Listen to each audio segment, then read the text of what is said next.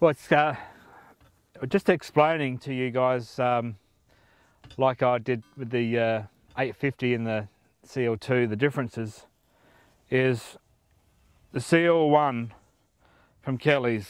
It's an all cast product. I have cut the hook and eye out of this one, but it's to show you where all the weight is in this product. All the weight in this product is actually in the disc. It's not in the hook and eye because the hook and eye is as cast as one. Once again, good product. It's been out there for a long time. It's, uh, it serves a purpose and uh, it's certainly uh, available, as you know, through your local Kelly dealerships. But what I want to show you is a couple of things. One, the diameter.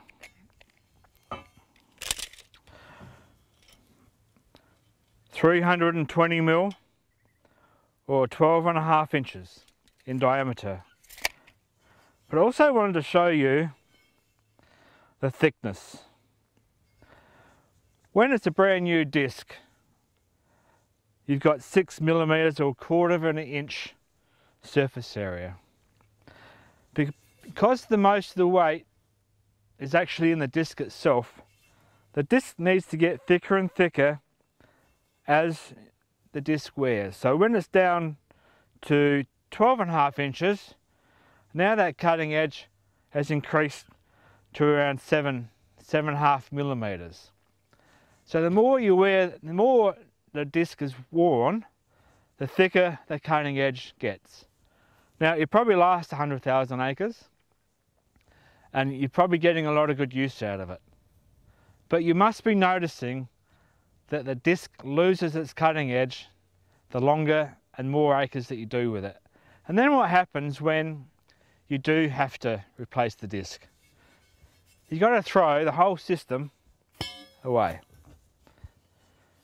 With the Bute discs, we have six and a quarter inch, sorry, we have six millimeter a quarter inch blade, but because we press our discs, we always maintain the cutting edge of quarter inch or six mil throughout the life of the disc. Now these might only do 70,000 acres compared to the CL1 that's do 100. But you're maintaining that cutting edge throughout the whole life, working life of that disc. Also,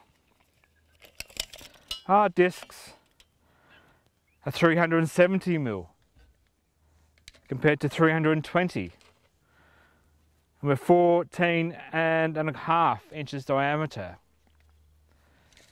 So we're a larger disc, maintains our cutting edge throughout the life of the disc. And guess what happens when these discs do wear down?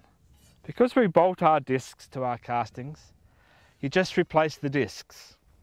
Yes, you got to throw the discs away, but keep the casting, the hook and eye. It saves you farmers around 60% of the original cost of the system. Now surely that makes great sense. And also you do have the choice because our sharpened discs bolt to the same system as well, you have the choice of changing up to a sharper cutting edge.